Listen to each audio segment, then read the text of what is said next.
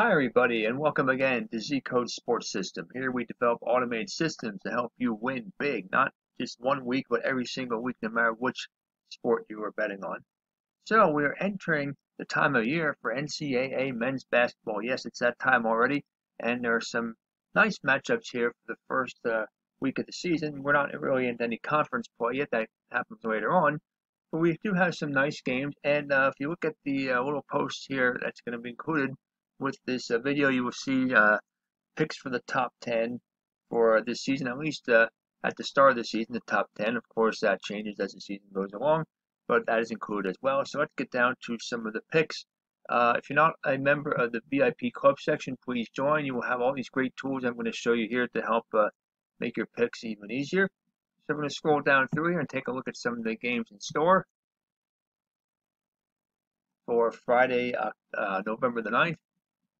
Uh, the first one I want to take is Auburn at Davidson. If you look here at Auburn, they were 11 and 7 in the SEC last year and 30 and 10 overall. Davidson was 14 and 4 and the Atlantic 10 and 25 and 8 overall. You see that Auburn enters burning hot down. Now, you notice that this year, the last five meetings, this all goes back to the end of last season, as does their status because nothing has been played yet. And you can see Davidson average, and you can see what they did at the end of last season as well. If you look at the oscillator, team strength oscillator, you see Davidson comes in average, Auburn comes in burning hot. Both of them are a little bit trending on the downward path.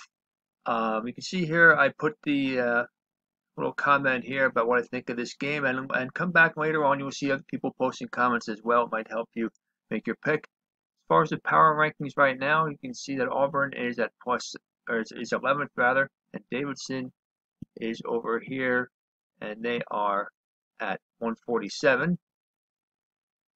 As far as the uh, power rankings indicator goes, Auburn has a plus 100, is at plus 100, or excuse me, plus 412, and Davidson is at plus 304. So overall, I think that Auburn should have a relatively easy time of things against a more inferior opponent and come away with a win despite playing on the road. Now, another matchup you want to look at is Akron versus West Virginia. The Mid-Atlantic Conference team, Akron, was just 9 and 10 in the conference last season, and they finished 17 and 16 overall. You see they're ice cold down at the end of last season. You can see that they lost four of their last six games. West Virginia averaged down. They lost three out of their last six to end last season. Um, as far as the power ranks concerned, you can see neither team is ranked very high. 220 for West Virginia, 319 for Akron. West Virginia struggled to just a 4 and 14 mark in the Big 12 conference last season and 15 and 21 overall. If you look at the uh, oscillator here, you can see the oscillator shows where they're at here which I already mentioned, average and average jump. You can see a little bit of the trend here. You can see West Virginia on a little bit of a downward trend, as is Akron. You can take a look at that. Overall, I think West Virginia is going to be the better team this year, and I look for them to get off to a win at home in the first game of the season. Some other matchups here. You can see a lot of these are matchups that probably aren't of great uh, national interest. Some of these are teams aren't very good at the moment. Uh, we're going to scroll down here to get to 70. Like Longwood at George Mason. Not going to look at that one. Here's one. Loyola, Loyola Chicago at Furman. Uh, Loyola Chicago average down. They have won three out of their last six. Furman average down as well. Winners of three out of their last six to end the season last year. If you look at the oscillator, you can see average for Furman. And you can see average down for Loyola Chicago. And you can see the downward trends by the way the graphs are going. If you look at uh, Furman as far as their rankings, there are 166 in the power rankings, and they're a little bit higher than Loyola Chicago at 180. If you look at what happened a year ago, Loyola Chicago was 12 and 6 in the Missouri Valley Conference and 20 and 14 overall. Playing in the Southern Conference, Furman went 13 and 5, very nice, and 25 and 8 overall. So I think this will actually be a pretty close game. Furman is playing at home. I believe they should have the advantage there and earn the victory in this one, probably in a lower scoring, and close game. Sacred Heart, Connecticut is another game. St. Francis at Richmond. And here's the last game I want to take a look at for Friday. It's Northern Kentucky at Missouri.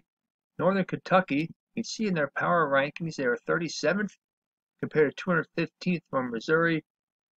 If you look at the oscillator, you can see right here they're pretty close as far as the point value goes. Missouri average and Northern Kentucky at burning hot down.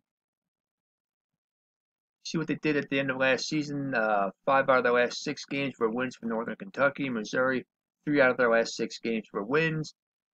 Northern Kentucky played in the Horizon League and they went 13 and 5 their last season and 26 and 9 overall. Missouri went 10 and 8 in the SEC and 23 and 11 overall. Um, as far as the power rankings indicator goes, Kentucky has a Northern Kentucky actually has a very big uh, plus 324 to plus 136 advantage. Missouri though plays in a much tougher conference in the SEC. I think that's going to be a deciding factor. In general, they play tougher competition, and I think that they will have an edge playing at home. They'll take care of business on their home court, walk away with a win, and there you have it for the games for Friday, November the 9th, as we kick off, or I should say tip off, because we're talking about basketball, as we tip off the NCAA basketball season. So there you have it. Enjoy the games this weekend, and be sure to return to us next week for some more good advice and make your picks very good for you and profitable. Have a nice weekend.